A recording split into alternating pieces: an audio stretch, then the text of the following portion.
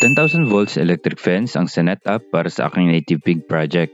Una natin sa ngayon ay ang paggawa ng kanilang electric fencing system. Yes, meron na rin ang ating native pig. May konting problema lang. So napababa pala yung ating unang insulator dito. Pero basic solusyonan yan. Nag-fabricate, Diba? Invention ko rin. naglinis, at tinapos na namin ang bakod. Malapit na talaga. Tara, samahan niyo ako.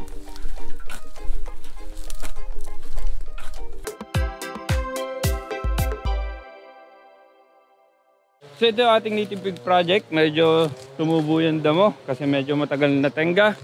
Pero ngayon, itutuloy na natin siya. I-fix natin yung bubong kasi nalipad.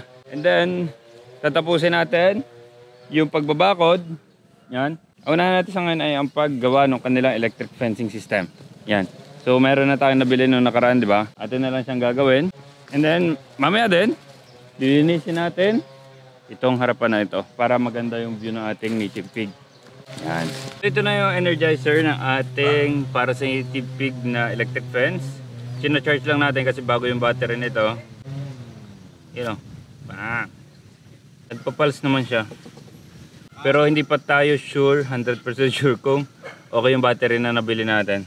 Kailangan din nating bumili ng mga materyales para doon sa poste ng ating electric fence. Pero gawa muna tayo ng isang prototype para makita natin kung paano natin gagawin yung ating fencing. Nagbutas, Hindi katulad nung ah, pamuste natin sa baka, di ba? Ang pamuste kasi natin ng baka, mga hanggang dito yon 3 feet ata. Pero, ang native pig kasi, mababa siya.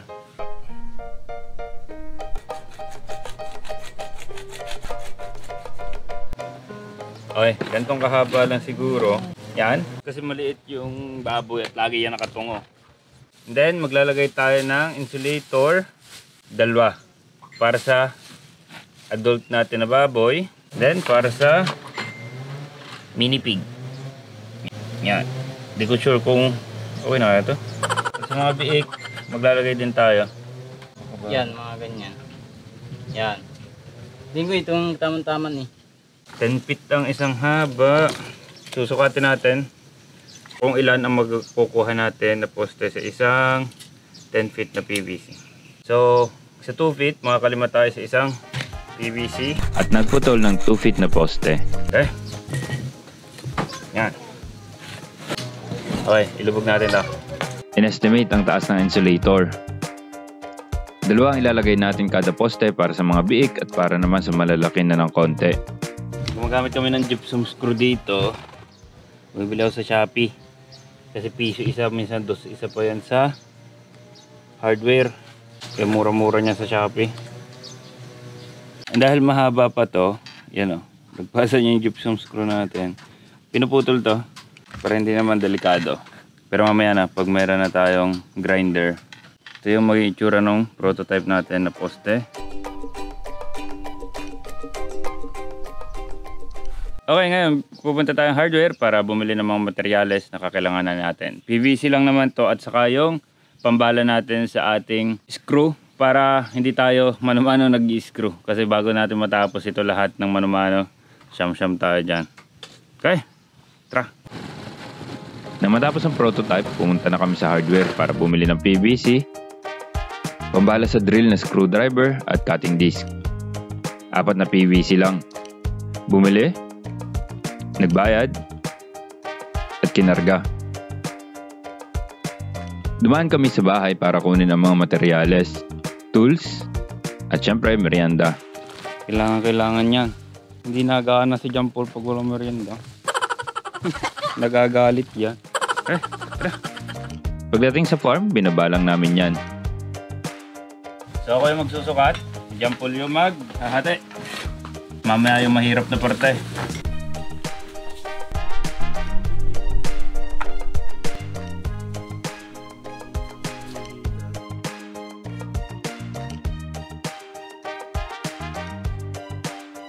Maganda dito, nagpa-pilot hole para mas madaling itusok yung ating gypsum screw.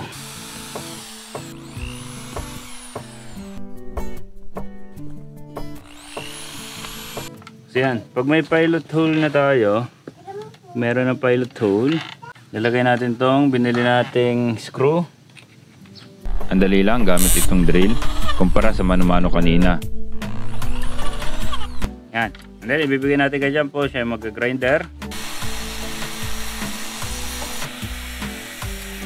Okay, yan. Ito na yung final product natin na magiging pamoste ng ating native pig. So, gawa lang tayo. Ubusin natin ito lahat. Oh. Yan ang ating gagawin lahat. Tapusin lang natin lahat ng poste. Inuna ko ang lahat ng pilot hole. Okay, natapos na natin to. Meron ng mga pilot hole. Pero bago ituloy, kung may project, Break time. merienda. May break time. Siyempre, break time. Kailangan ng lakas. Dahil tapos na ang pilot hole, tinuloy-tuloy ko na pag-screw ng mga insulator at tuloy-tuloy na rin ang pagpuputol.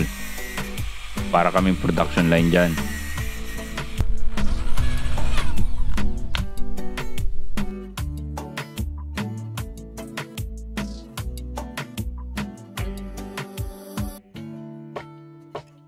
Okay, gagawa ulit tayo ng ano naman, nung reel. Tapos nating tapusin yung ating mga pumoste. DIY ulit ito na reel. Gamit ito. Dalawa lang ang gagawin natin. Bumili na ako marami para pag may nababasag, may pumali tayo. Dito natin ilalagay ang electric rope para sa paddock ng native pig. Basta, ganun lang gumawa niyan.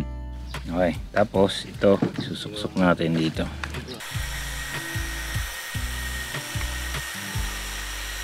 Malaki na titip namin sa pagdi-DIY nito kasi libo ang totoong ganito. Eh, it will serve its purpose. Parehas lang yan. Yeah. Binitasan lang, then lagyan natin ito. Ang purpose niyan, yan. Okay ba?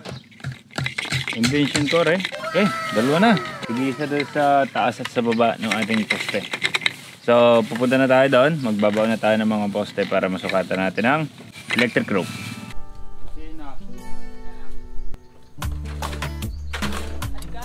Yan, nilalatag na yung jump pull lang. Hagwire. Ako naman hinuhukay ko yung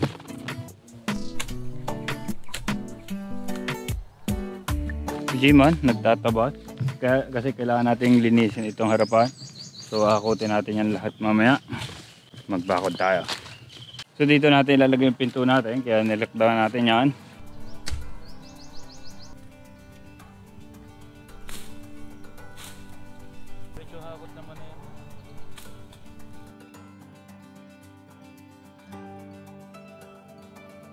Ako yung maghahakot nga pala ng tinabas. Yan. Para malinis na rin babo yan, oh.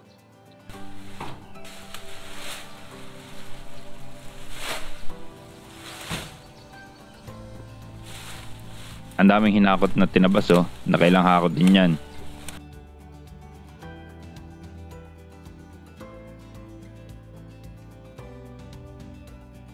Nakarating din sa dulo ng paghahagwar.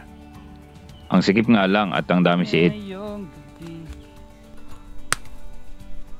Ayan. Lumilinis na yung harapan ng ating native pig project.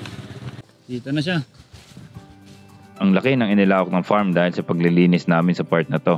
Na-maximize din kasi ang ilalim ng kawayanan. Ay, nailapat na natin yung hagwire natin. Tatambakan na para lumapat yung ilalim ng hagwire at hindi basta-basta mahukay.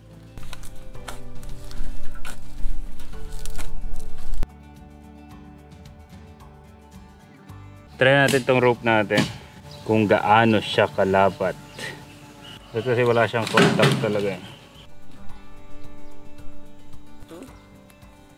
Merong minor problem lang. So napababa pala yung ating unang insulator dito. Dapat pala nasa gitna dito.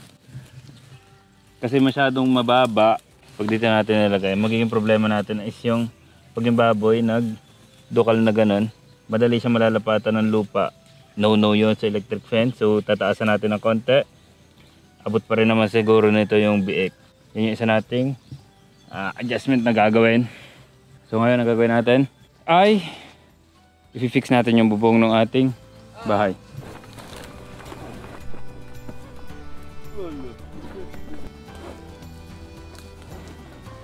At itinali ito.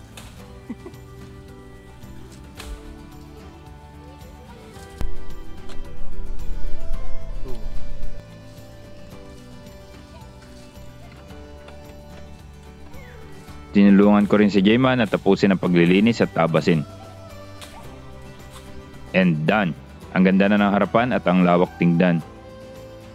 Okay, yan ang progress sa ating native pig project. Next episode, magkakaroon tayo ng paggawa ng feeder nila, gawa sa semento para hindi nila mangat-ngat. Yung ating electric fence, install na natin properly. At yung ating gate. Yan. Yan lang, maraming salamat. Subscribe and peace! Woo!